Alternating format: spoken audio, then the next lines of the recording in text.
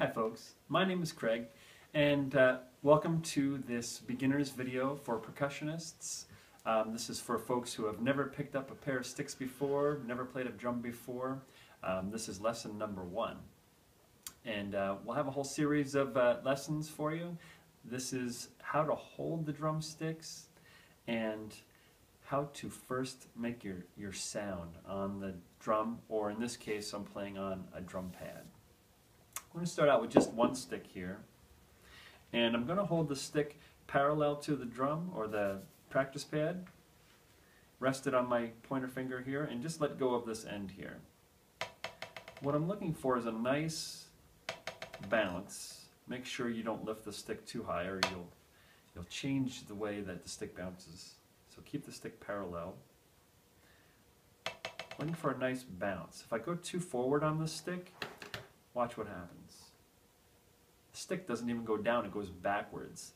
If I held the stick there, I would be doing a lot more work, the stick would be doing less work. I want to find that spot where the stick bounces nicely on its own.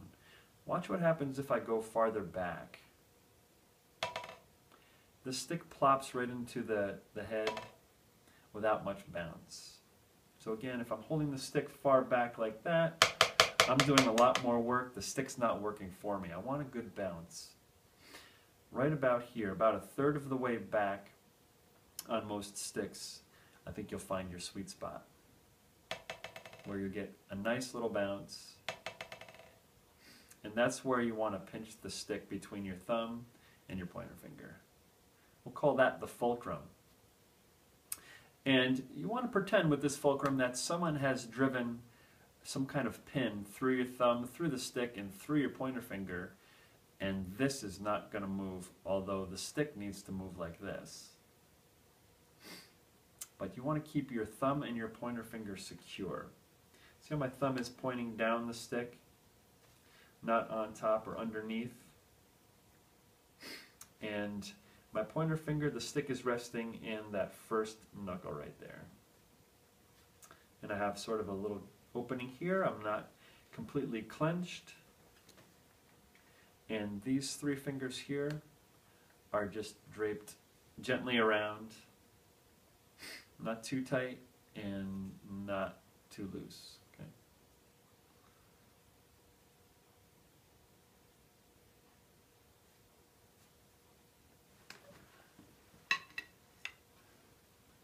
So once you have your sticks in your hand.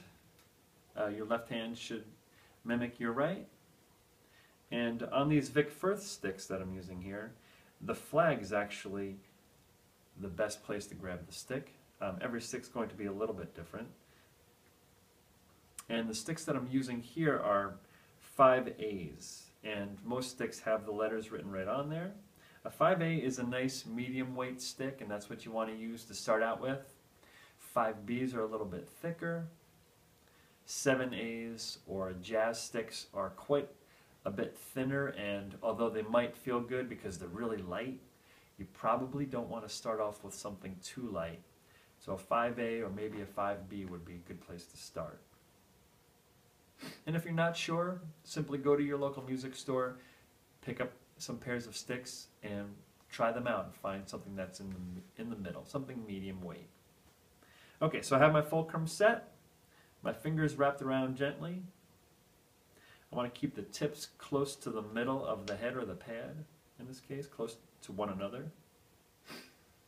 And I want to make sure that the tip of the stick is going to get a nice bounce back up. We call that the rebound.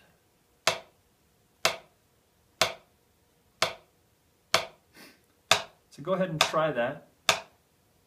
Try that with your dominant hand first. Every time you hit that drum or the pad, make sure you get a nice rebound, whether you're playing soft or loud. You want to make sure that that stick comes back up.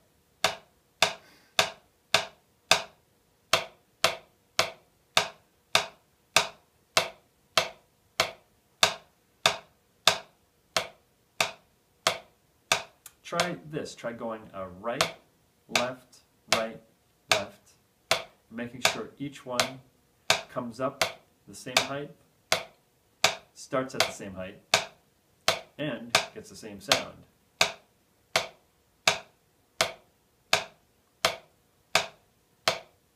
As you can see, I'm using a little bit of wrist in my motion, and just a tiny bit of arm. All of that works together to make a good stroke.